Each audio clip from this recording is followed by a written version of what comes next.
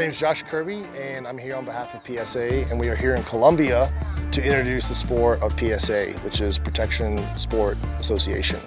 Uh, within PSA, I'm the Secretary of Decoys. The sport of PSA uh, originates in America or United States and it's about 24 years old at this point.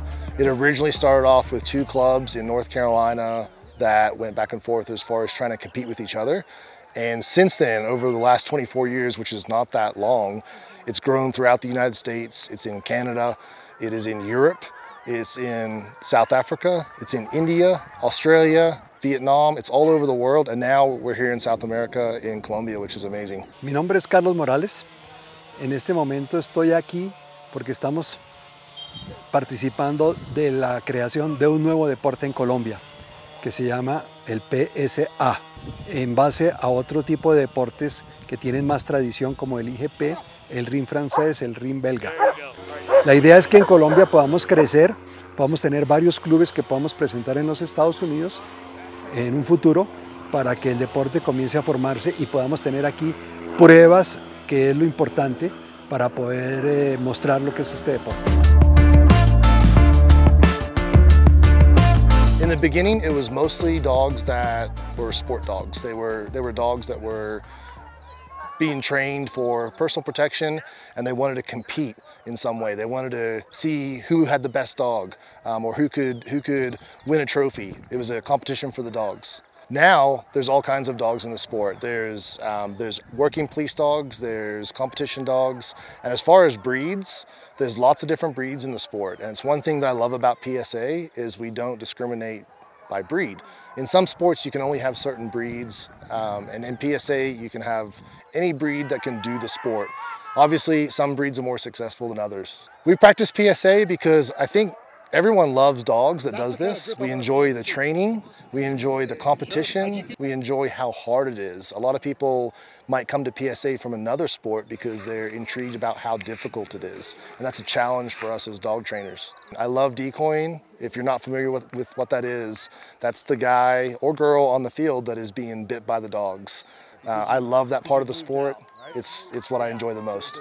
A partir de hoy, 25 de marzo del 2024, Con este proceso y esta certificación de hoy, estamos creando el deporte, porque esto se trata, esta certificación, de, crear unos hombres que se llaman decoys, que ellos son los que van a trabajar el perro y van a hacer una función especial dentro del trabajo de protección. Entonces, ellos, ellos, sin ellos no hay deporte. Entonces, lo primero que tenemos que tener es los decoy. Una vez tengamos ellos ya podemos comenzar a trabajar nuestros perros. La certificación nos da que pues ellos ya pueden trabajar y están certificados para poder mirar la forma como se maneja el perro, porque la idea es que el perro ni sufra, o sea, que se pueda trabajar bien, que no haya ningún accidente y tampoco con las personas. Entonces, el decoy es el encargado realmente de velar por la seguridad de todos y porque se haga un buen trabajo el perro pueda realizarse, pueda mostrarse como debe ser. Entonces, eso nos ayuda muchísimo y eso es lo que realmente nos necesitamos para poder trabajar.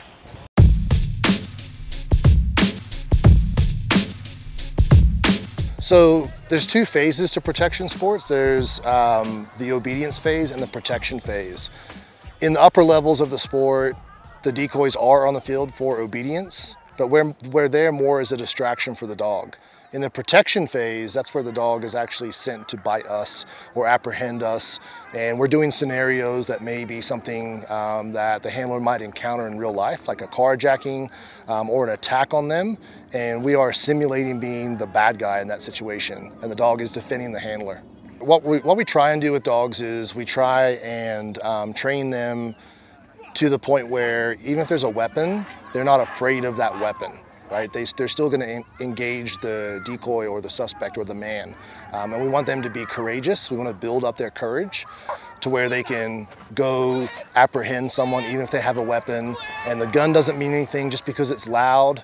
It doesn't mean anything to the dog or the stick. They're not afraid of those things. Most dogs would be afraid of those things. Dogs, the way we train dogs is dogs shouldn't really react to the gunfire. They don't know what a gun is. They don't know what a gun is the way we do. What it is to them is a very loud noise that uh, may get their attention um, or scare them. Hopefully not. Hopefully it's not scaring them for the dogs that we're training, but it's just a loud noise. Um, and they don't know that that is a gun that could potentially hurt someone but it is something we have to work through as far as training. We have to train the dog to be neutral to that, to not be afraid of it, and go engage a decoy that might have that. Se necesita para este deporte muchísimo control del perro y, y la obediencia tiene que ser casi perfecta. Entonces es lo más importante. A la vez de combinar una buena presa y una agresión del perro para, para poderlo trabajar y, y que realmente sea un deporte que figura protección. El perro, eh, el cachorrito, por ejemplo, es muy importante trabajarlo, que se socialice y que tenga en medio ambiente. Para esto pues hay diferentes cosas que deben manejarse como distractores y, una buena socialización del, cachorro. Para eso se necesita tener un grupo de personas, además de salir y, sacar el cachorro para que se socialice en diferentes ambientes. Pero sí, claro, necesitamos de decoy y todo para ir trabajando desde cachorro la mordida del perro, porque el perro disfruta muchísimo la mordida. Es de las cosas que más le agrada a un, perro. Entonces, nosotros le damos esa satisfacción a los animales que puedan obtenerla y a la vez que se vuelvan tranquilos y puedan eh, disfrutar del, del diario vivir.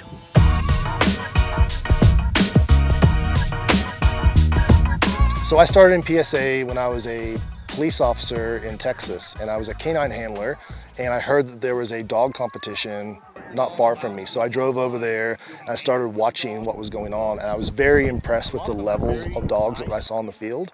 Um, I arrived during PSA level three, which is the highest level, and I was so impressed, I started asking everyone, you know, who's, who's doing the training over here? Where can I train with these people? And I started training my police dog and some of the other police dogs in my unit with the PSA trainers because I was so impressed with, with how well they did things. So this is a while ago. I'm a retired police officer.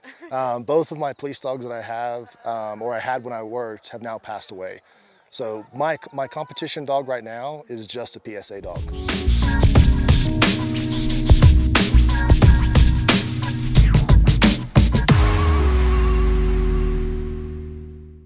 So my dog's name is Brew. She has her first leg of her PSA 2. Um, I love her. She's also my pet. Um, I, I don't just look at her as my competition dog. She's my friend. Um, she's, she's my buddy. She goes lots of places with me. If I'm watching Netflix, she's right there watching Netflix with me. Uh, right now, because I'm in Colombia, she's at home with my wife, keeping her safe. So she's also my protection dog at home. And my wife is very happy that when I travel and I'm not at home, she has Brew with her because she knows someone comes in the house, you know, to do something they shouldn't be doing, Brew is there. De las cosas más bonitas del deporte con los perros y en general, en general pues, no solamente en este deporte, es compartir en familia eh, una actividad. Mm, yo les quiero contar que bajo mi experiencia, compartir con mi hijo o con mis hijos este deporte es algo que no tiene comparación ni tiene ningún valor económico. Esto le da a uno lo que es la vida, la, la realidad de lo que es uno fomentar una relación hermosa con los hijos y con la familia. No tiene comparación, la verdad.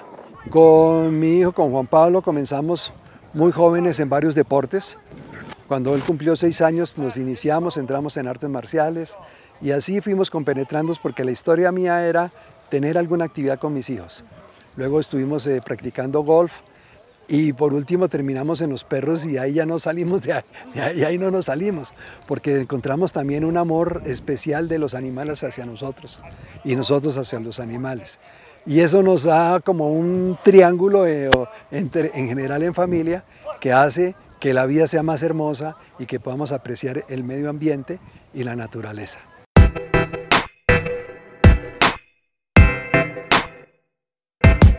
A lot of people think that if a dog is trained to bite, that no one can be around them. There are some dogs that are like that. For what I look for in a dog, I want a dog that can do that, but can also act like a pet um, when we're not doing the work. That's what I look for. We call that more of a social dog. I want a dog that you could come visit me in my house, and as long as I tell her that it's okay, she's okay with you and she's happy to see you. Um, I want my dog to do the job when I ask her to do the job. So lots of dogs in the sport are like that. They are also people's pets, um, but there are some dogs that maybe aren't able to do that just because of how they are wired genetically and they are more of a work dog that need to be treated like a work dog. Realmente el, el perro cuando termina su actividad ya eh, retirado puede estar en cualquier, eh, en cualquier familia o con cualquier persona, no tiene ninguna cosa especial, simplemente es darle cariño, conocer al perro y darlo, porque son perros sociables realmente. Aquí nosotros no buscamos perros peligrosos ni perros que vayan a causar un accidente.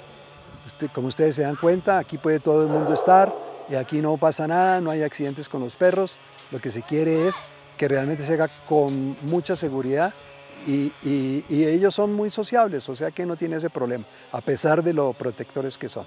Uh, advice for good training would be um, enjoy, enjoy your training with your dog. I, I love seeing handlers that enjoy engaging with their dog and their dog is happy in training. I love seeing a happy dog and a happy handler. So I try and encourage people to enjoy their training. You know, don't take it so seriously, enjoy it. Why, why would you be doing a sport, which is a hobby to us, if you don't enjoy it? So just have fun with your training.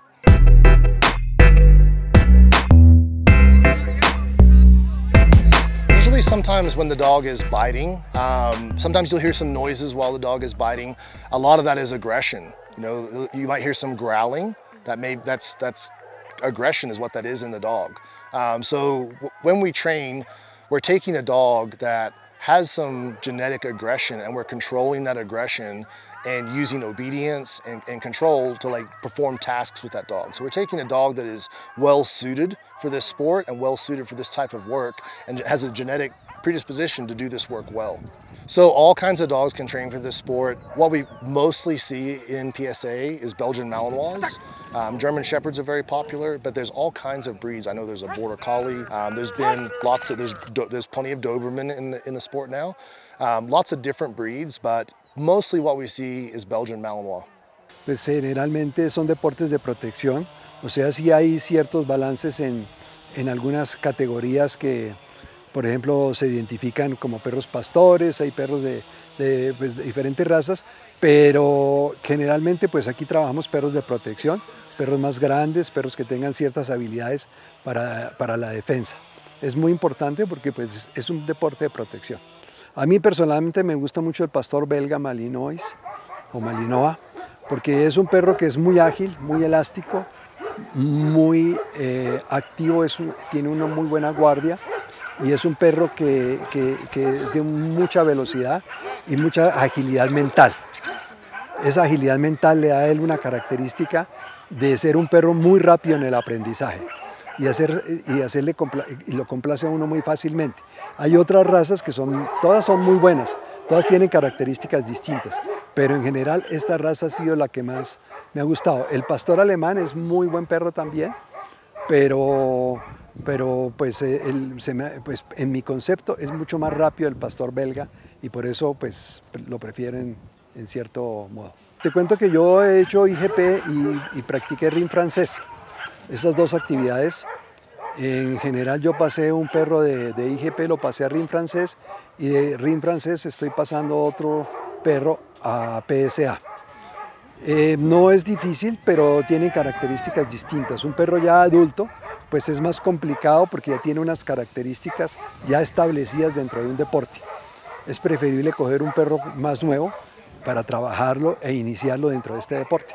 So if you if you like PSA with what we would call maybe an we call that an off breed, a dog that's not common in the sport, you would have to have a, a dog that was maybe like a one in a million in that type of uh, breed, right? You've made it very hard because that dog's genetic predisposition is not for this type of work. So it is hard to do and it takes good training. It also takes a very, very special dog to make that happen.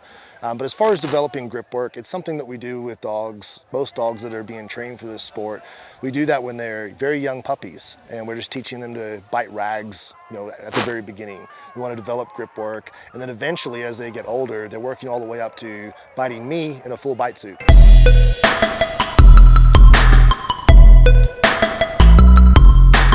Sky's this tall and we're trying to make her jump up here to bite. but she did bite the leg really well. She enjoyed biting the leg. She's lower to the ground. The leg is naturally at her height. So as a trainer and as a decoy, I think it's smart to like allow her to bite the leg. That's gonna be the area that she bites. And she did it well, she enjoyed it. She did a good job. So if I was training Sky, I would keep her on the leg. She did a good job, I loved it. When people see a dog that is not common doing this, we're all excited about that.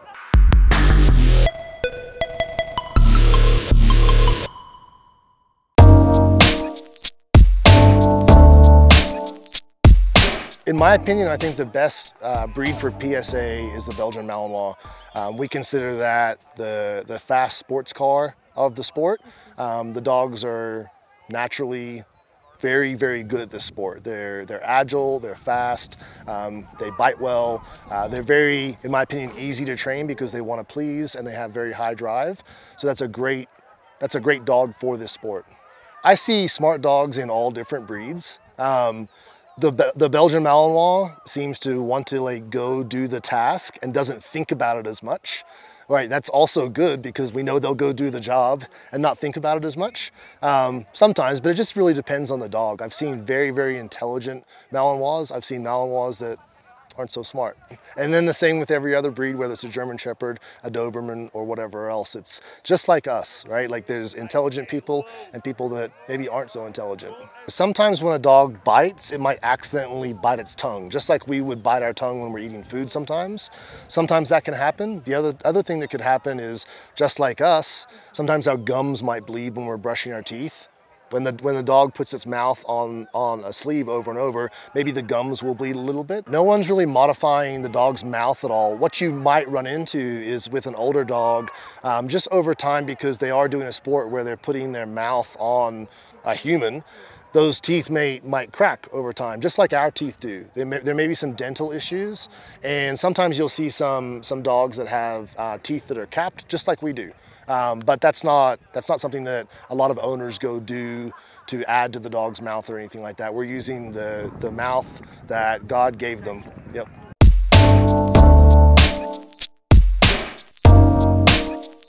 So when we compete with our dogs in PSA, we're, we are being scored by a judge.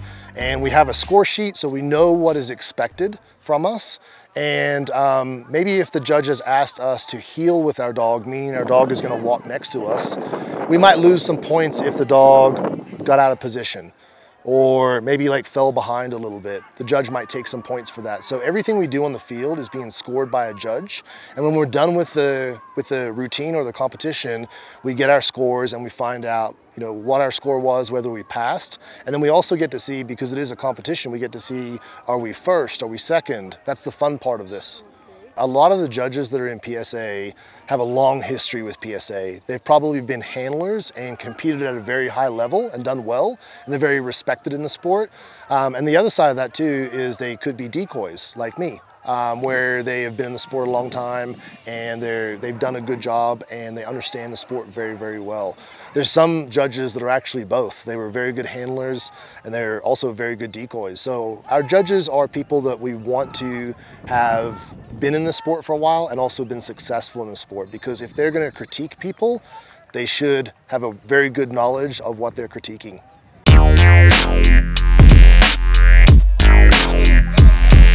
So they are ranked, so to speak, in that they earn titles. So at the, at the beginning of the sport, we have a certificate that you can earn called the PDC. The next level is PSA 1, followed by PSA 2 and PSA 3.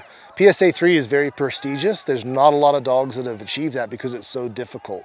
So if you have a PSA 3 dog, a lot of people might have the name of their dog followed by PSA 3 to signify that they've earned that title, which is quite an honor. In PSA, we don't give points for what the dog looks like. What we care about is how the dog works. And that's what we're getting points for. So we're, we're here for, for dogs that are um, working dogs and performing a task, and that's what we're being judged on.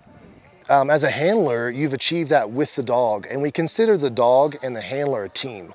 So if my dog has achieved it, I've also achieved it. We've, we've done that together. We're a team on the field. So you can train your dog in whatever language you want. It's one of the things that I like about PSA also. We're not um, very, very strict on certain things that probably don't mean a whole lot.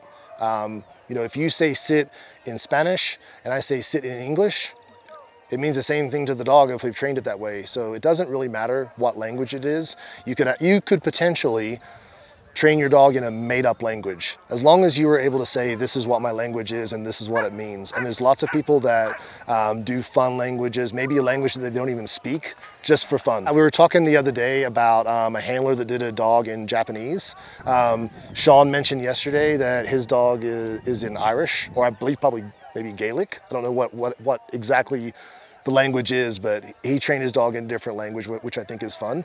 Um, I know dogs that are being trained in Hebrew, which is great. There's lots of different languages that you know people don't speak maybe on on their um, everyday life, but they're training their dog in that for fun. So one of the things I love about PSA is that the scenarios we have are, even though it's still a sport, they are very realistic. Um, we have a carjacking scenario where the dog defends the owner in the car. Um, some of the surprise scenarios we have might be where uh, um, a bad guy or a group of bad guys come out and attack the handler and the dog defends them. So that's what makes the sport fun is that the scenarios that we do could be real life situations. And a lot of people that compete in the sport of PSA also consider their dogs their personal protection dog.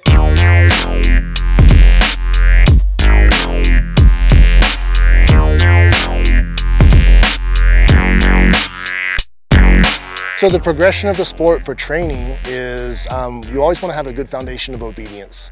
So in the sport, you don't get to do any of what we call the fun stuff, the protection work, if you don't pass obedience. So obedience is very important. I would call that probably the most important part of the sport because you, you don't get to go to the next part. So that's that's probably the first part is make sure you have good obedience and you know get with a good trainer, uh, PSA club to help you prepare your dog for that training. Um, and then obviously the bite work is um, sometimes a long, a long, a long time to train. As a trainer, I like using food because it's so repeatable. I can keep rewarding my dog with food. With a ball or a tug, if I give that to the dog, now I have to get it back. Right? So like I prefer to use food in my training, but all of those things are rewards. Um, and over time, we want to start fading rewards. We want to st start giving less rewards for the work that's being done. Once the dog understands something, we can um, maybe not reward them every single time, right? Because when we walk on a field to compete, we can't reward the dog. So we have to work up to that. But with young dogs, we, we consider rewards like payment, right? So you have a job, and if you go to your job and never got paid, are you gonna go back to your job? Yeah, you're not getting any, any reward for that. So rewards for dogs are payment. You know, sometimes we'll say, hey, pay that dog. What we mean by that is give your dog your, the reward. You know, it, it doesn't really matter what reward you use, as long as you're using a reward that works for your system. And everyone should have a system in how they train. Um, and and that's, that, that could be a lot of different things. There's a lot of different systems out there that work. And as long as you're successful, your dog's having fun and you're having fun, I love it.